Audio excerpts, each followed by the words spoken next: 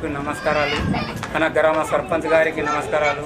మన సీనాన్ని double room ఇచ్చినందుకు వాళ్ళకు ధన్యవాదాలు.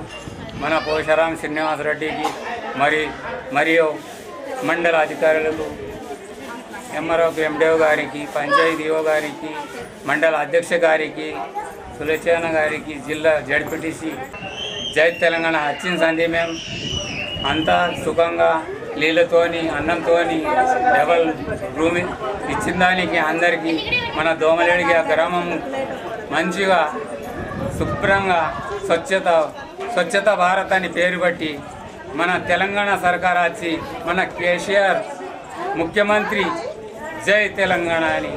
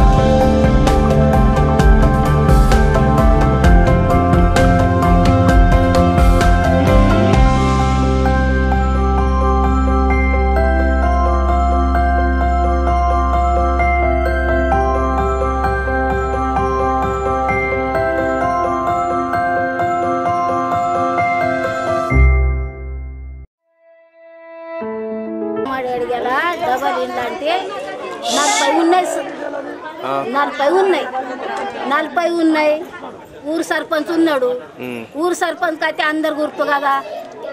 ఓలింట్లో ఎంత ఉన్నారు ఓలింట్లో ఎంత ఉన్నారు ఓళ్ళకి ఇబ్బంది ఉన్నది ఓళ్ళకి లేదు ఓళ్ళకి ఎంత తావు ఉన్నది అని సర్పంచ్కి అంత గుర్తుంటుంది ఇప్పుడు వీళ్ళకి ఇద్దరికి ఇచ్చిండ్రు వాళ్ళకు ఇయ్యని సంతోషం ఉన్నది మాకు కూడా వాళ్ళకి లేదు. గోవింద్కు లేదు గంగారాంకు లేదు వాళ్ళకి ఇయ్యని సంతోషం ఉన్నది. ఇక సర్పంచ్ చూసి ఇయ్యాల.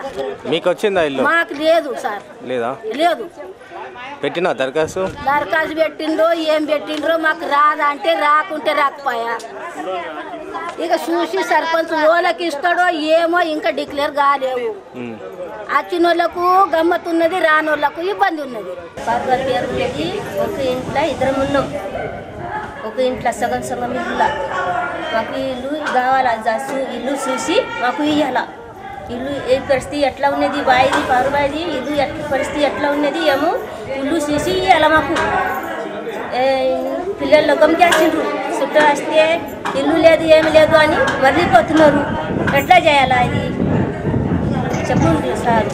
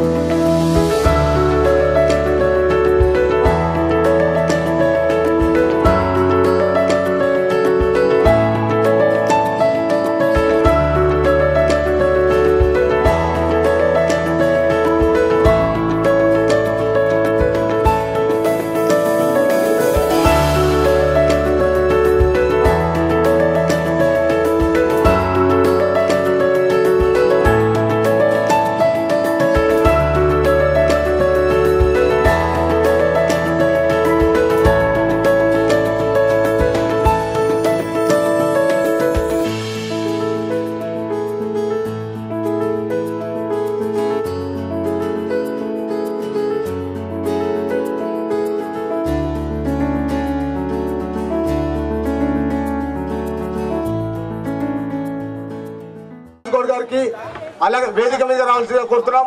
అలాగే వివిధ గ్రామాలను ఆమె రాజా రాజుబాయ్ ఆ ఇల్లు ముహూర్తం చేసిన రాజుబాయ?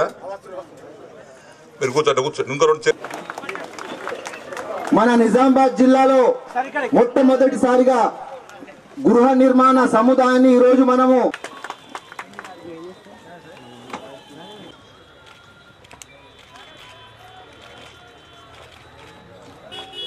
పి అధ్యక్షురాలు మోరే సులోచన గారు సన్మానించవలసిందిగా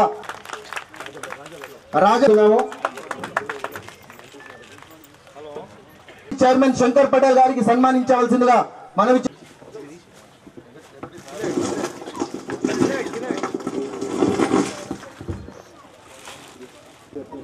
ఎక్స్ జెడ్పీటీసీ గారు భాస్కర్ అన్న గారికి మరియు అంజ అంజన్న గారికి పూలమాల వారిని మార్కెట్ కమిటీ చైర్మన్ గంగన్న గారికి పూలమాలతో సత్కరించారు గారు గృహ నిర్మాణ శాఖ మంత్రులు గారికి మరియు అన్న గారికి పూలమాల సాల్వతో సత్కరిస్తున్నారు.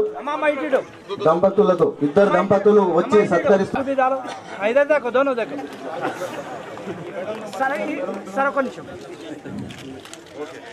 స్వాగతం సుస్వాగతం. రా.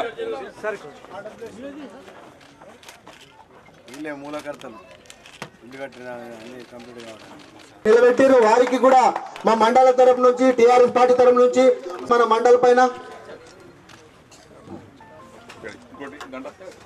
వారి భూమిని ఇచ్చారు. ఇటు గృహ నిర్మాణ శాఖ నిర్మాణం గురించి వారికి ఇట్టల్ గారికి సర్పంచ్ గారికి అన్నగారు. బాబు పక్క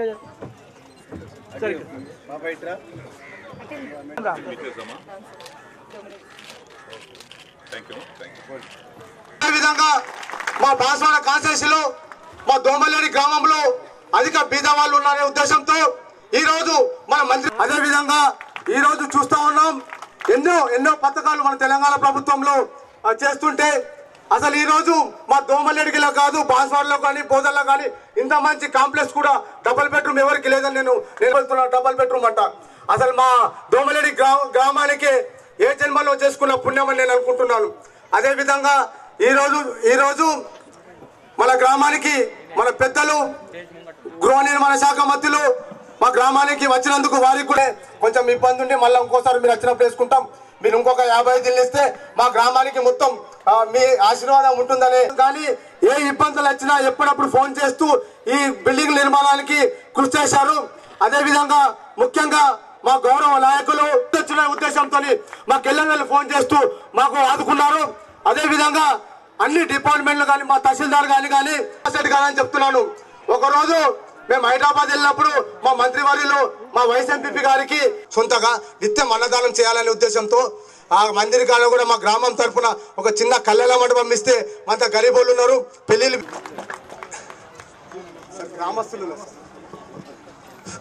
ఇదే విధంగా మా మీడియా మిత్రులు అది మనకు ఇప్పటి వరకు పదమూడు వేల డెబ్బై ఎనిమిది ఇండ్లు ఆల్రెడీ మనకు ప్రభుత్వం నుంచి జీవోల రూపకంగా పోయిన సంవత్సరంగా జిల్లా కలెక్టర్ గారి నుంచి మనకు మా యొక్క అడ్మినిస్ట్రేటివ్ శాంక్షన్ కూడా ఇవ్వడం జరిగింది.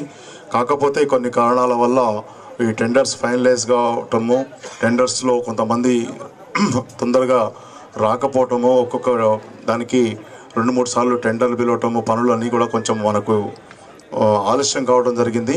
మొట్టమొదటగా మన జిల్లాలో ఈ దోమలడిగిల్లోనే ఈ యొక్క పని టూ బిహెచ్కే స్టార్ట్ అయింది. దానికి తెలుసు మన గౌరవం.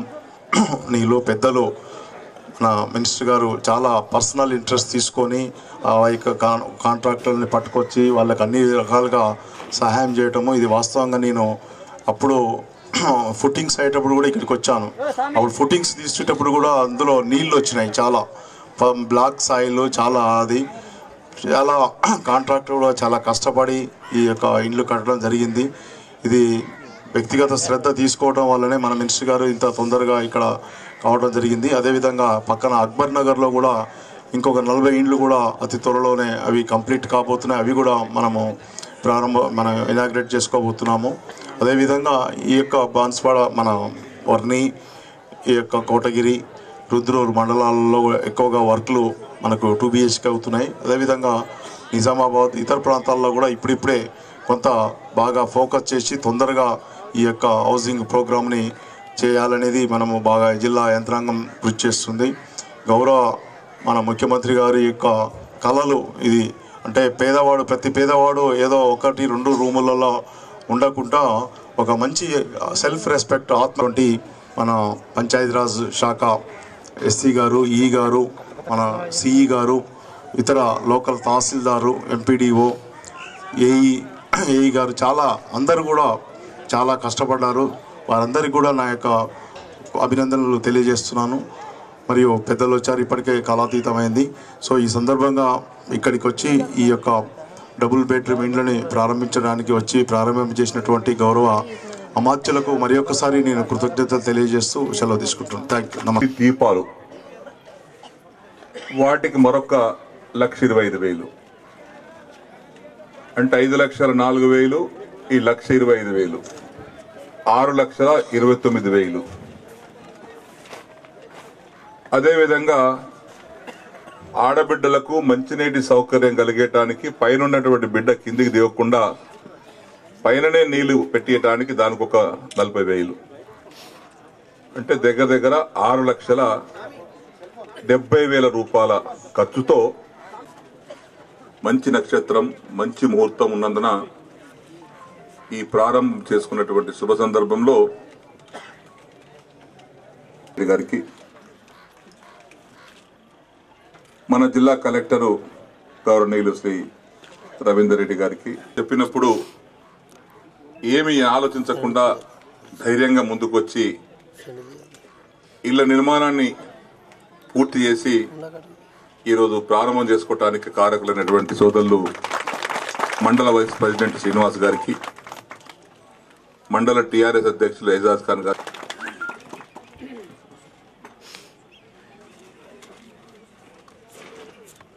ఈరోజు ఒక చక్కటి ఇళ్ళను మనం ప్రారంభించుకున్నాం.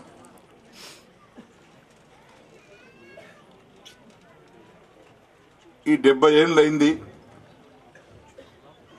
మనకు స్వాతంత్రం వచ్చి.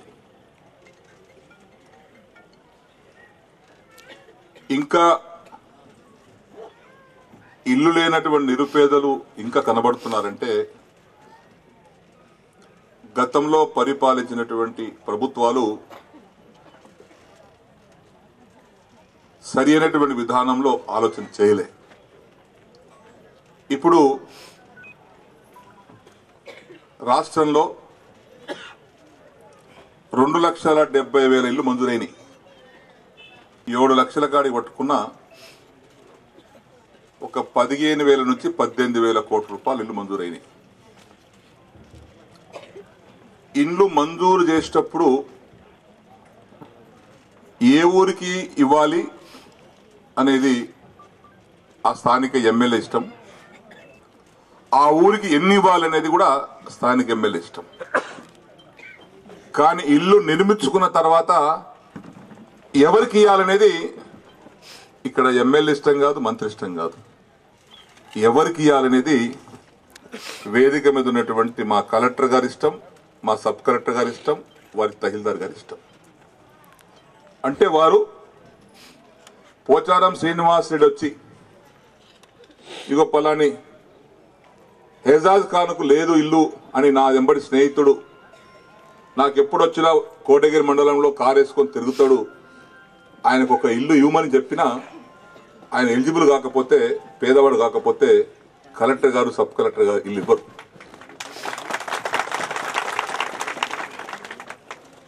ఖచ్చితంగా పక్షపాతం లేకుండా నిర్భయంగా ఆడబిడ్డ బట్టలు మార్చుకోవటానికి ఇల్లు లేక భార్యాభర్తలు పండుకుంటే కన్న తల్లిదండ్రులు వయసొచ్చిన బిడ్డ వయసొచ్చిన కోడలు ఇంటికి వస్తే పండుకునే జాగ లేక గురుల మీద గోపురాల గోవిల మీద పడుకున్నటువంటి తల్లిదండ్రులు. కన్న తల్లి బిడ్డలు పండుకోవడం జాగలేక వాకిట్లు పండుకోవడం చలికి ఎండకు వానకు నష్టపడడం కష్టపడడం. అటువంటి బాధల నుంచి ఎవరైతే ఉన్నారో ఆ బాధల్లో అనుభవిస్తున్నారో అటువంటి వారిని కులమేదైనా మతమేదైనా పార్టీ ఏదైనా పక్షపాతం లేకుండా ఈ కట్టించినటువంటి ఇళ్ళను అచ్చంగా అటువంటి వారికి కేటాయిస్తామని చెప్పేసి కూడా మరొక్కసారి నేను స్పష్టం చేస్తా ఉన్నాను ఈ పని ఇలాంటి ఇల్లు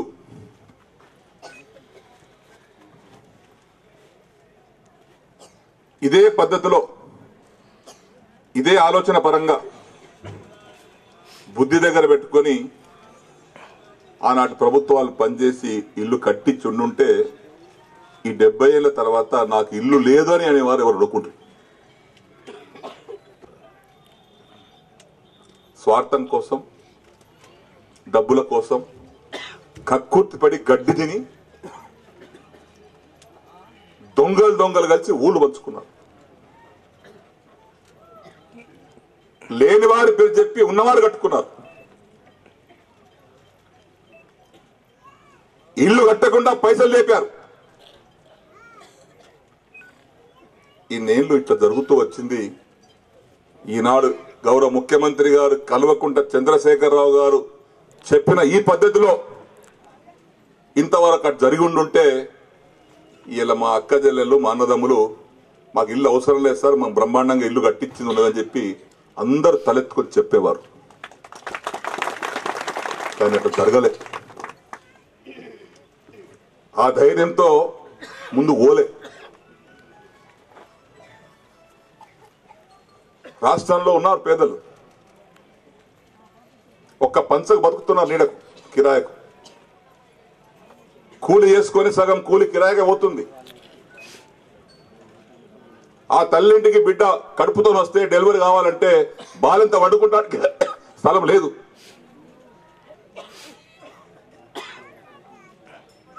సహజంగా మొదటి కాన్పు తల్లింటికి వస్తారు. దవాఖానకి వెళ్ళి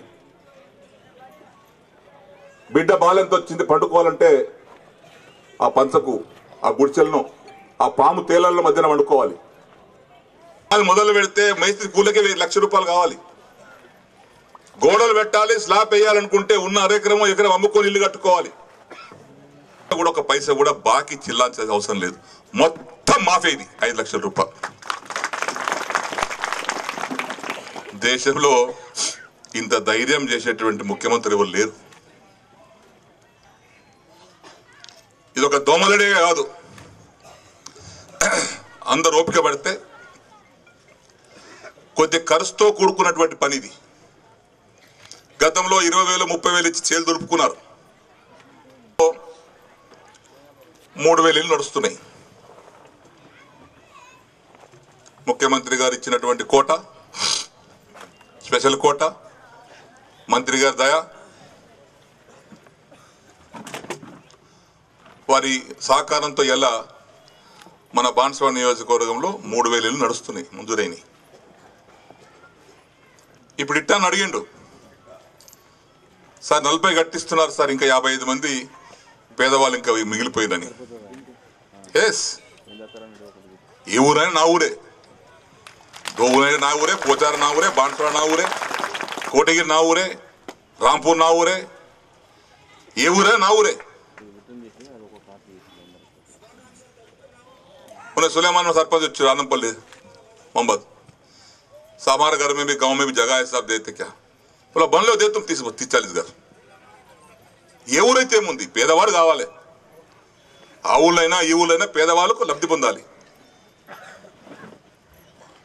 అందుకే ఇప్పుడు ఇట్టని అడిగాడు యాభై ఐదు ఇళ్ళు తప్పనిసరిగా దోమలేడిగా నలభైతో పాటు ఆ యాభై ఐదు కూడా మంజూరు చేస్తుంది ఒక్కొక్క ఊరు మొన్న బైరపూర్ కట్టేసాం అప్పుడు మంత్రి గారు రాలే ఎందుకంటే తనకు పని ఉండే అప్పుడు ఇది పని నడుస్తుంది. శ్రావణ మాసంలో మంచి ముహూర్తం ఉంది అని చెప్పేసి ఆనాడు కూడా అంటే నేను వెళ్ళి గృహప్రవేశం పూజ చేశాను. కలెక్టర్ గారు నేను అధికారులు అందరం వెళ్ళి. అక్కడ నలభై ఇచ్చిన ఇట్లనే. ఇట్లనే ఇంత కట్టారు. వాళ్ళు ఎంక్వైరీ చేసిన గ్రామం అంతా ఎంఆర్ఓ గారు కూర్చుండి ఆర్డీఓ గారు కూర్చుని ఎంక్వైరీ చేస్తే మొత్తం ఎనభై ఆరు మంది వెళ్ళింది ఆ విలేజ్లో. ఇల్లు లేనటువంటి నిరుపేదలు. కిరాయకుండి గుడిసెలలో బతుకుతున్న వారు. ఇల్లు లేక పాములు తేలల్లో కష్ట భయంతో బతుకుతున్న వాళ్ళు. అటువంటి వారిని ఎంక్వైరీ చేస్తే బైరప్పులో ఎనభై ఆరు మంది వెళ్ళిండ్రు. పెళ్ళి జీవితంలో నూరేళ్ళ పంట. ఇల్లు నూరేళ్ళ పంట. మీ కొడుకులు మీ మనుమలు మునిమనుమలు కూడా ఇందులో నివాసం ఉండే విధంగా పక్కా కన్స్ట్రక్షన్ ఏమాత్రం మోసం లేకుండా ఆ విధంగా నిర్మిస్తాం.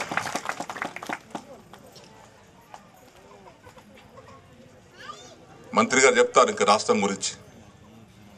ఇంత కలెక్టర్ గారు చెప్పారు.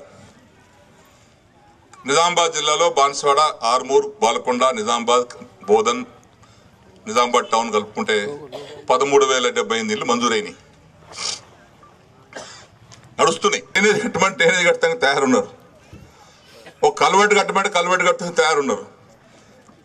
కానీ ఇల్లు కట్టాలంటే కట్టే వ్యక్తికి ఆ సీసీ రోడ్డు డ్రైనేజీలో మిగిలినంత పైసలు మిగిలాయి. అవసరమైతే జేబులకి పడతాయి కొంత. అని భయంతో ఇప్పుడు మన దగ్గర కోటగిరి మండలంలో దోమలేడిగి కోటగిరి ఇచ్చాం నాగేందర్పూర్ ఇచ్చాం రామగంగానగర్ ఇచ్చాం పోతంగర్కి ఇచ్చాను లింగాపూర్కి ఇచ్చాను. ఇళ్ళ నిర్మాణం దగ్గర మంజూరు చేస్తున్నాం. నిర్మాణం దగ్గర కొంత వచ్చేవారు వెనుక ముందు కానీ అందుకే మండల వైస్ ప్రెసిడెంట్ సీను వయసులో చిన్నవాడైనా సీనును కట్టాల్సిన దోమలేడికి తప్పది. నాగేందర్పూర్ కట్టాల్సింది తప్పది అని చెప్తే ఏం కష్టపడ్డాడో ఏం చేశాడో ఎట్లా చేశాడో మట్టి అడికలు తెచ్చిండో మొలమాడికలు తెచ్చిండో ఇసుకాడికలు తెచ్చిండో మొత్తాన్ని చేసి ఈరోజు దోమలేడి గ్రామం నిజామాబాద్ జిల్లాకే వాళ్ళ ఆదర్శంగా నిలబడ్డది ఈరోజు. ఇది ఒక మనిషిలో ఉన్నటువంటి కమిటీ చిత్తశుద్ధి. నేను మనస్ఫూర్తిగా రాంపూర్ సీన్కు మీ తరపున నా తరపున చప్పట్ల వద్ద గట్టి చప్పట్లు కొట్టండి. అభినందిస్తున్నా.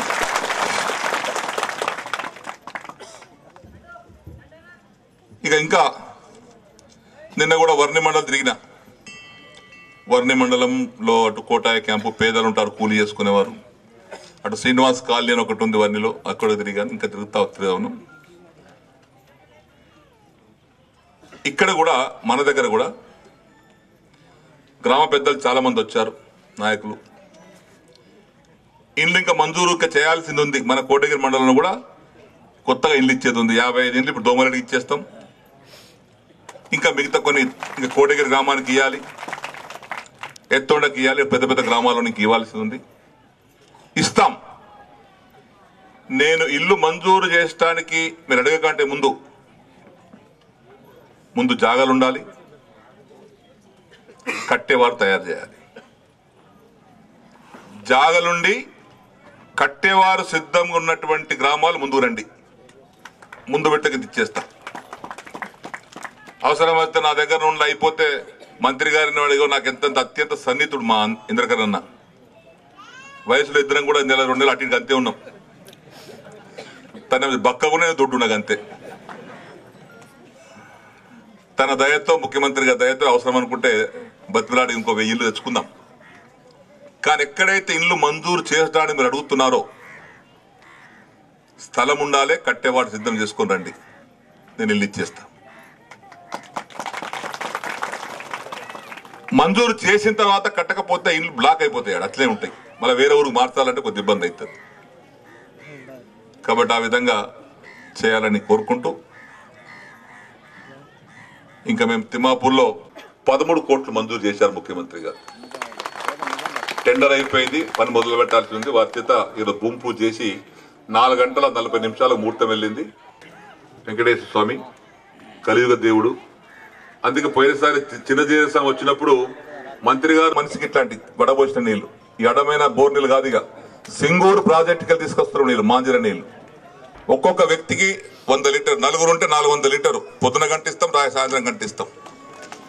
మళ్ళీ ఏ బిడ్డ కూడా ఏ కోడలు కూడా తల్లి కూడా రోడ్డు మూడు పోయి నీళ్ళు మోసుకురావాల్సిన అవసరం లేదు. అది దేశం లెక్కలేదు మన రాష్ట్రంలోనే. కరెంటు కొరత దేశం లెక్కలేదు మన దగ్గరనే. రేపు రాబోయే రోజుల్లో ప్రాజెక్టు గోదావరి నీళ్ళు తీసుకొచ్చి రెండు పంటలకు రేపు వచ్చే సంవత్సరం నిజాం సాగర్ లేసి రెండు పంటల నీళ్ళు ఇవ్వబోతున్నాం నిజాం సాగర్ నీళ్ళు. కరెంటు కొరత లేదు. వెయ్యి రూపాయల పెన్షన్ పద్దెనిమిది ఏళ్ళ పిల్లకు కళ్యాణ లక్ష్మి డెబ్బై ఐదు వేలు. కడుపుతో ఉన్న ఆడబిడ్డకు క- కేసీఆర్ కిట్తో పన్నెండు వేలు. ఆరు కిలోల బియ్యం. యాదవులు కుర్మలు గొల్లు గొల్లు బోయిలకు చేపలు. ఇవన్నీ నేను అనుకుంటా బహుశా దేశానికే టిఆర్ఎస్ పరిపాలన దేశానికే దిక్చూచి ఇవాళ దేశానికే. దేశానికే నేర్చుకోబోతున్నారు వచ్చి చాలా మంది అధికారులు వచ్చి ఏంది ఇంత కొత్త ప్రభుత్వం వచ్చింది డబుల్ బెడ్రూమ్ ఏంది మిషన్ భగీరథ ఏంది రోడ్లు ఏంది కథ ఏంది కార్ఖాన ఏంది? ఆశ్చర్యమై చూస్తానికి వస్తున్నారు. కోట్ల మంది ప్రజానికానికి వారి సుఖ సంతోషాలు చూడడమే ముఖ్యమంత్రి గారి యొక్క ధ్యేయం లక్ష్యం. కాబట్టి ఆ విధంగా చేసుకుంటూ వెళ్దాం. తొందరపడేది ఏం లేదు. సమయం ఉంది. ప్రాజెక్టు కట్టిన తర్వాత ఎందుకంటే నిజాం ప్రభుత్వం నీళ్ళెట్టిచ్చిండో రేపు అట్ట కూడా నీళ్ళు రాబోతే మనకు కాలువల ద్వారా. ఎప్పుడు నీళ్ళే మీరే అంటారు మళ్ళీ జర బంద్ చేపిసారి కాలువ ఎక్కువైపోయిందని పరిస్థితి వస్తుంది. ఆ పరిస్థితి కూడా చూడబోతున్నాం. కరెంట్ అయితే దూరం కొరత లేకుండా వా ప్రతిదీ కూడా ఇవాళ దేశానికే దిక్చూచి టిఆర్ఎస్ పరిపాలన కేసీఆర్ గారి పరిపాలన దేశానికి దిక్చూచి ఈరోజు. కాబట్టి ఇప్పటికే కాల కాలత్వమైంది కాబట్టి ఎక్కువ సమయం తీసుకోకుండా ఇప్పటికే పావుదాకా నాలుగు అవుతుంది. మంత్రి గారు మాట్లాడాలి. ఎందుకంటే వారు అనుభవజ్ఞులు ఇక్కడి నుండి అందరూ మమ్మల్ని సహకరించవలసిందిగా కోరుకుంటూ మరొక్కసారి తెలంగాణ రాష్ట్రం సాధించిన తర్వాత మొట్టమొదటిగా వ్యవసాయ శాఖ మంత్రిగా భారతదేశంలోనే అందరికీ తెలంగాణ రాష్ట్రం వచ్చిన తర్వాత మన అన్న పోచారం శ్రీనివాసరెడ్డి గారు చెప్పినట్టు భారతదేశంలో ఏ రాష్ట్రంలో కూడా ఇటువంటి ఇల్లు కట్టడం లేదు. ఎక్కడైనా ఒక్కటే రూమ్ కడుతున్నారు తప్ప రెండు డబుల్ బెడ్రూమ్ల ఇండ్లు రెండు బాత్రూమ్లు అనేది వంటగది వేరు మళ్ళీ. వాష్రూమ్ వేరు. ఐదు వందల అరవై స్క్వేర్ ఫీట్ల ఇల్లు ఐదు లక్షల నాలుగు వేల రూపాయలు. దీనికైతే ఒక లక్ష తొమ్మిది వేల రూపాయల ఒక ఇల్లు ఖర్చు పెట్టాం. మరి జాగ అయితే ప్రభుత్వ స్థలం ఎక్కడుందో అక్కడనే మనం మొట్టమొదలుగా ఇల్లు కట్టడానికి ప్రయారిటీగా తీసుకుంటున్నాం. మరి ఇల్లు జాగ కూడా మీరు డబ్బులు ఎవరు తీసుకోవడం లేదు. మరి ఈ విధంగా దాదాపు ఏడు ఏడున్నర లక్షలు ఒక ఇల్లు మనకు ఉచితంగా ఒక్క రూపాయి కూడా బాకీ మనకు లేదు ఇక్కడ. ఆ బాకీ లేకుండా ఇచ్చినటువంటి ఇల్లు భారతదేశంలో తొలి రాష్ట్రము కొత్తగా ఏర్పడ్డ ఇరవై తొమ్మిది రాష్ట్రము. మన ముఖ్యమంత్రి గారు చంద్రశేఖరరావు గారు తీసుకున్నటువంటి నిర్ణయం వల్ల ఈ డబుల్ బెడ్రూమ్ల కార్యక్రమాలు జరుగుతూ ఉన్నాయి. చాలా సంతోషకరమైనటువంటి విషయము. తెలంగాణ రాష్ట్రంలో రెండు లక్షల డెబ్బై ఒక్క వేల ఇండ్లు నిర్మాణం జరుగుతూ ఉన్నాయి. రెండు లక్షల డెబ్బై ఒక్క వేలు అంటే దీంట్లో హైదరాబాద్లో ఒక కోటి ఇరవై ఐదు లక్షల మంది జనాభా ఉంటుంది అక్కడ. హైదరాబాద్లో దాదాపు అక్కడ ముప్పై మంది ఎమ్మెల్యేలు హైదరాబాదు రంగారెడ్డి ప్రాంతం కలిసి. అక్కడ లక్ష ఇల్లు ఇచ్చినాం జిహెచ్ఎంఎస్కి. గ్రేటర్ హైదరాబాద్ మున్సిపల్ కార్పొరేషన్కు ఒక్క లక్ష ఇండ్లు అక్కడ కడతా ఉన్నారు. అని టెండర్లు అయిపోయినాయి పనులు నడుస్తూ ఉన్నాయి. మిగతా గ్రామాల అసెంబ్లీ కాన్స్టిట్యూన్సీలకు అన్నిటి కలిపి ఒక లక్ష డెబ్బై ఒక్క వేల మరి ఇల్లు తీసుకోవడం జరిగింది. ఇప్పటికి దాదాపు ఒక లక్ష తొంభై ఎనిమిది వేల ఇండ్లకు టెండర్లు అయిపోయినాయి. మాత్రమే ఇప్పుడు నాలుగు వేల అరవై తొమ్మిది ఇండ్లు కంప్లీట్ అయినాయి. ఇప్పటికీ ఆరు వందల నలభై ఒక్క నలభై ఒక్క కోట్లు దీనిపైన ఖర్చు పెట్టడం జరిగింది. మరి ఇప్పుడు ఎక్కడ పోయినా ఇల్లు కట్టడానికి రమ్మంటే ఎవరు రావడం లేదు. దేని విషయం అంటే పెద్ద పెద్ద ప్రాజెక్టులు ఎక్కువైపోయినాయి తెలంగాణలో.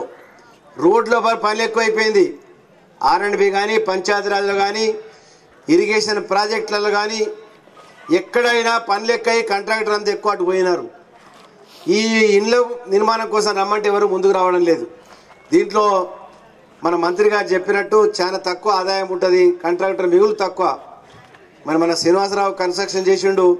మరి ఏం మిగిలిందో పాపం ఏం చేయలేదో కానీ మొత్తానికి ఊరి గురించి మాత్రం బాగా కష్టపడ్డాడు. మనందరం కూడా వారికి హృదయపూర్వకంగా కృతజ్ఞత చెప్పాలి. అదేవిధంగా ఈ యొక్క డబుల్ బెడ్రూమ్ ఇండ్లు ఇండ్లు కట్టే విషయంలో తప్పకుండా మంచి మంచి మరి సూచనలతోని మనం తీసుకుంటున్నాము. మరి మీరు కూడా తప్పకుండా సహకరించుకున్నట్టయితే ప్రభుత్వ భూమి ఉండాలి. అదేవిధంగా కాంట్రాక్టర్ దొరికితే మరి మా అన్న ఇప్పుడు మూడు వేలు ఇల్లు కట్టిస్తూ ఉన్నారు. ఇంకా కూడా మేమిద్దరం కలిసి ముఖ్యమంత్రి గారి దగ్గరికి వెళ్ళి ఇప్పుడు అదనంగా ఏదైతే ఇంకా వెయ్యి ఇల్లు కావాలంటుండో తప్పకుండా అన్నగారికి ఇక్కడ కన్స్ట్రక్షన్ అవుతుంది కాబట్టి వెయ్యి ఇండ్లు అదనంగా తప్పకుండా ఇప్పిస్తాము. మళ్ళీ మార్చిలో ఇప్పుడు వచ్చే బడ్జెట్లో ఈ రేపు రెండు వేల పంతొమ్మిది ఎలక్షన్ ఎలక్షన్స్ ఉంటాయి. రెండు వేల పద్దెనిమిది ఈ బడ్జెట్లో మళ్ళా ఖచ్చితంగా ముఖ్యమంత్రి గారు ఒక కాన్స్టిట్యున్సీకి ఒక వెయ్యి ఇండ్లు అంటే ఆ వెయ్యి ఇండ్లు తర్వాత వెయ్యి అదనంగా వచ్చేది దగ్గర దగ్గర ఇంకా రెండు వేల ఇండ్లు అన్నకు దగ్గర దగ్గర దగ్గర ఉంటాయి. ఆ వెయ్యి చెప్తలు పెడతాను ఈ రెండు వేల ఇల్లు పెట్టుకుంటాడు. ఈ బ్రహ్మాండంగా ఇల్లు కట్టించేసే నిజంగా ఎక్కడ పోయినా కానీ సంతోషం వాళ్ళని చూస్తుంటే మాకే సంతోషం అనిపిస్తుంది ఇక్కడికి వచ్చినాక. బాన్స్వాడలు ఎక్కడ కూడా ఇంత మంచి ఇల్లు కనబడలేదు. మేమందరం కూడా సంతోషిస్తున్నాం. మరి జీ ప్లేస్ వన్ ఇళ్ళతోని మరి అన్న బాగా నిలబడి కృషి చేసి ఎన్నోసార్లు ఈ గ్రామానికి వచ్చి మా కలెక్టర్ గారు వచ్చారు సబ్ కలెక్టర్ గారు వచ్చినారు ఎస్సీ గారు వచ్చినారు ఇక్కడికి. ఇంజనీరింగ్ డిపార్ట్మెంట్ పంచాయతీ డిపార్ట్మెంట్ ఆధ్వర్యంలో కన్స్ట్రక్షన్ చేసిన అధికారులు నిలబడి కట్టించినారు పాపం. చూస్తుంటే అంత బ్లాక్ సాయిల్గా ఉన్నది మొత్తము నల్లరేగడి భూమి. అయినా కష్టమైనా కానీ ఇళ్ళను నిలబెట్టినంటే మీకు ఒక గూడు ఏర్పడ్డది. మరి ఆ గూడు ఏర్పడడానికి ఇంట్లో ఉన్నటువంటి వాళ్ళు ఆత్మగౌరవంతో బతకాలన్న ఉద్దేశంతో ఆత్మ గౌరవంతో జీవించాలన్న ఉద్దేశంతో ముఖ్యమంత్రి గారు ఇటువంటి డబుల్ బెడ్రూమ్ ఇళ్ళ స్కీమ్ తీసుకొచ్చినారు. గతంలో ఇల్లు ఇచ్చినాం. ఎన్ని ఇండ్లు? ఆ ఇండ్లు ఇప్పుడే అన్న చెప్పినట్టు ఊర్లో నూరు ఇండ్లు నూరు ఇండ్లు మంది ఇండ్లు కావాలంటే రెండూరు మున్నూరు ఇండ్లు తీసుకుంటారు. ఎవరు కట్టినో ఇల్లు కట్టకుండానే బిల్లులు లేకపోయారు దాని మీద మనము మరి అక్కడ మరి పోలీస్ ఎంక్వైరీ కూడా చేయడం జరిగింది. దాంట్లో ఎందరో మంది జైలులో కూడా పోయినారు మళ్ళీ ఇంకా అందరి మీద మన కేసులు పెడితే మాఫీ చేయడం జరిగింది. మనకి ఎటువంటి బకాయిలు లేవు ఇళ్ళకు ఇళ్ళ మీద. ఎవరు అడిగినా బ్యాంక్ వాని కానీ ఎవరు అడిగినా కానీ ఇండ్ల పాత ఇండ్లు కట్టుకున్న బకాయిలను కూడా పూర్తిగా మరి ముఖ్యమంత్రి గారు మాఫీ చేయడం జరిగింది కాబట్టి ఇక ఈ కొత్త ఇల్లు కట్టేది మనం ఐదు లక్షల నాలుగు వేల ఇల్లు ఒక్క రూపాయి తిరిగి కట్టేది లేదు. మరి ఇంత మంచి సౌకర్యము ఎక్కడన్నా ఉందని అడుగుతా ఉన్నాను. మరి ఈరోజు మీరందరూ కూడా ఒక అదృష్టంగా భావించాలి. ఒక మంచి మంత్రి గారు వ్యవసాయ శాఖ మంత్రి అంటే ఇవాళ పోచారం శ్రీనివాసరెడ్డి గారు నిజంగా కూడా ప్రతి ఒక్కరు జ్ఞాపకం పెట్టుకోవాలి. పదిహేడు వేల కోట్ల రూపాయలు రుణాలు మాఫీ చేపించాం. అదేవిధంగా రేపు రాబో వర్షకాలం నుంచి ఎకరానికి నాలుగు వేలు ఆనకాలము వేసంగికి నాలుగు వేలు అంటే ఎకరానికి ఎనిమిది వేల రూపాయలు పెట్టుబడి ఇవ్వబోతున్నారు. మన ముఖ్యమంత్రి గారు తీసుకున్న నిర్ణయంతో ఇలా భూ సర్వేలు జరగడం జరుగుతుంది. భూమి ఎవరికి ఎంత ఉందో ఇప్పటికి మనకు తెలియదు తాతల పేరు భూమి ఉంది. తాత చనిపోయి ఉంటే వాళ్ళ కొడుకు పేరు భూమి లేదు. మనమడి పేరు లేదు. ఆ విధంగా రెవెన్యూ అధికారులందరూ కూడా గ్రామ గ్రామంలో పది రోజులుండి భూ సర్వే కార్యక్రమాలు పూర్తి చేయడం జరుగుతూ ఉంది. అవన్నీ అయితే ఏ ఊర్లో ఎవరి పేరు భూమి ఎంత ఉందో మరి ఇక్కడ గ్రామ సదస్సు పెట్టి గ్రామ సభ పెట్టి ఆ సభలో నిర్ణయం చేసిన తర్వాత మా భూమి వివరాలు వచ్చిన తర్వాత మనందరికి కూడా నాకు ఇంత భూమి ఉందని చెప్పి స్వేచ్ఛగా మనకు మరి పూర్తిగా వివరాలను కూడా తెలుస్తుంది. దాని తర్వాత మనకు డబ్బులు ఇచ్చేది కూడా ఎక్కడ ఇబ్బంది కూడా కాదు. ఆ అందుకొరకి భూ సర్వే కార్యక్రమం జరుగుతూ ఉంది. నిజంగా కూడా ఒక మంచి కార్యక్రమం తీసుకొని ఎకరానికి నాలుగు వేల రూపాయలు వానకాలం ఎండాకాలం నాలుగు వేలు పెట్టుబడి ఇచ్చేదానికి మరి నిజంగా కూడా ప్రభుత్వము ఎంతో ఉదారంగా రాష్ట్రం ఉన్నప్పుడు మనకు ఎటువంటి సౌకర్యాలు పెరగలేదు. మరి ఇక్కడ విఠల్ గారు ఇప్పుడు అన్నారు మందిరం కట్టాలని చెప్పి గ్రామస్తులంతా వచ్చినారు హనుమాన్ మందిరం అని. గతంలో ఎప్పుడు కూడా ఏ మందిరానికి ఎవరు డబ్బులు ఇవ్వలేదు. ఈ ముఖ్యమంత్రి గారు వచ్చిన తర్వాత వారు స్వయంగా దైవ భక్తులు దైవాన్ని నమ్ముకున్నటువంటి ముఖ్యమంత్రి గారు నిన్ననే యాదగిరిగుట్ట లక్ష్మీ నరసింహస్వామి దేవాలయానికి వెళ్ళాము. తెలంగాణ తిరుపతిగా వెయ్యి కోట్ల రూపాయలు ఖర్చు పెట్టి అక్కడ యాదగిరిగుట్ట లక్ష్మీ నరసింహస్వామి ఆలయాన్ని నిర్మాణం జరుగుతుంది. ఇంకొక సంవత్సరం తర్వాత అయితే బ్రహ్మాండమైనటువంటి హైదరాబాద్కు అతి సమీపంలో యాభై కిలోమీటర్ల దూరం ఉన్నటువంటి యాదగిరిగుట్ట లక్ష్మీ నరసింహస్వామి ఆలయము పూర్తయితే నిజంగా కూడా మనకు తెలంగాణలో తిరుపతి క్షేత్రంగా మనందరం కూడా భావిస్తాం. మరి మా అన్నగారు కూడా ఇక్కడ తిమ్మాపూర్లో వెంకటేశ్వర స్వామి తెల పదమూడు కోట్ల రూపాయలు ఇచ్చి దాన్ని కూడా ఒక పుణ్యక్షేత్రంగా తీర్చిదిద్దడానికి వరకు మరి కార్యక్రమాలు జరుగుతూ ఉన్నాయి. కళ్యాణాలు జరగడానికి పెద్ద హాల్ కట్టి జరుగుతూ ఉంది. రహదారి పూర్తయింది. మంచినీటి సౌకర్యం కానీ అన్ని రకాలుగా అన్నదాన కార్యక్రమం కూడా అన్ని కూడా అక్కడ ప్రారంభమైనాయి. కాబట్టి ఒక మంచి కార్యక్రమం చేస్తున్న మా పోచారం శ్రీనివాసరెడ్డి గారు. ఈ విధంగా ఈ కాన్స్టిట్యున్సీకి మరి ఇటువంటి వ్యక్తి దొరకడం అని మీ అందరూ కూడా అదృష్టంగా భావించాలి. ఒక కమిట్మెంట్ ఉన్నటువంటి వ్యక్తి ఎక్కడ పోయినా ఓపిక అన్ని విషయాలు ప్రతి ఒక్కరికి మనసును పట్టే విధంగా చెప్పి వాళ్ళని సంతృప్తి పరిశీలనకనే మరి మిగతా కార్యక్రమాలు చేయడం జరుగుతుంది. ఈ ప్రాంతంలో ఇవాళ నిజంగా నేను ఉన్నాను ఆ రోజు. ముఖ్యమంత్రి గారు అంటే మాకు ఏదైనా నేను మాట ఇచ్చినాం సార్ ఖచ్చితంగా నీళ్ళు కావాలంటే మరి అప్పటికప్పుడు సింగూరు నుంచి నీళ్ళు ఇడిపించి నిజాం సాగర్ నింపి అలా పదిహేడు టీమ్స్ నీళ్ళు పెట్టాం అటువంటి ముఖ్యమంత్రి గారు.